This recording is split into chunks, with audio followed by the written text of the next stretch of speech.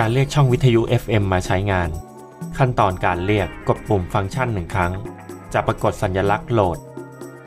จากนั้นเลือกช่อง 1-9 ตามที่ต้องการ และทั้งหมดนี้คือวิธีการเรียกช่อง FM มาใช้งาน